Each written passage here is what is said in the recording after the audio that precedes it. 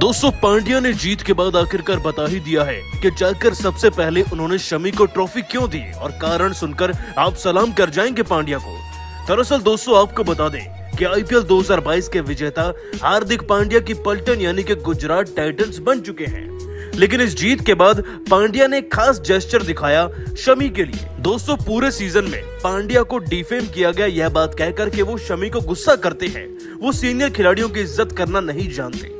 इसीलिए उन्होंने जाते ही ट्रॉफी थमा दी थी मोहम्मद शमी के हाथों में, क्योंकि वो वाकई में उनकी बहुत इज़्ज़त करते हैं। पांड्या ने यह भी कहा कि शमी टीम की जीत के सबसे बड़े एक्स फैक्टर हैं, इसीलिए वो उन्हें ट्रॉफी देने गए।